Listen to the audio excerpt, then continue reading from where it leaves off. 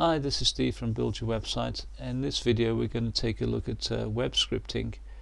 Uh, scripting makes your web pages dynamic, so if you want to add such things like a date time stamp or a page counter to your web page, uh, which I don't actually recommend you do, but if you want to then you'll need to use some kind of scripting. Now there are two types of scripting that you'll encounter on the web. They are client-side scripting, so called because it's executed on the client machine, i.e. your PC, and in particular on the web browser.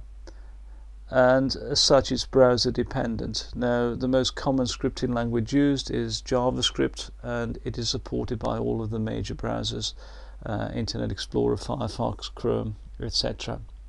Now, you'll probably never write any JavaScript yourself but it's almost certain that you will actually add JavaScript code to your web pages. Um, common examples of that are Google Analytics and Google AdSense.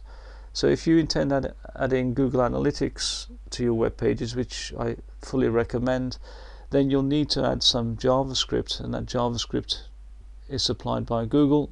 And if you intend monetizing your web pages with Google AdSense and again you'll need to add some JavaScript to those web pages. And again it's supplied by Google. So you might not ever write it but you will need to learn how to add it to your web pages. Now server-side scripts uh, are so called because they're executed on the server. And because of that they're server dependent. So whether your server supports the particular scripting language depends on the type of server it is. Now, Linux server supports PHP, Perl, Ruby on Rails, and a lot of other different scripting languages.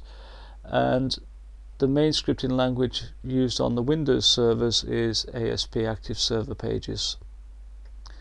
So again, you'll probably never write any PHP or ASP scripts, but you need to be aware of the requirements.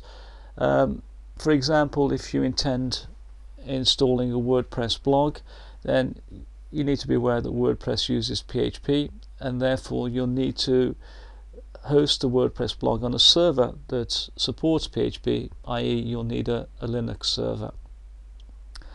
Okay, so let's just wrap up the video here uh, with a quick overview.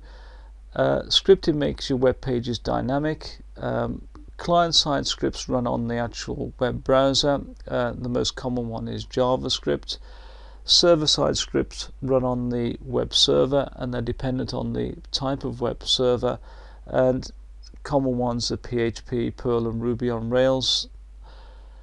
If you want to find more information about scripting, um, then you can take a look on the on the website. You can see the URL at the bottom, which goes into more detail on the different scripts, uh, types of script, and in particular, it goes into more detail on about JavaScript and PHP. Until next time, bye.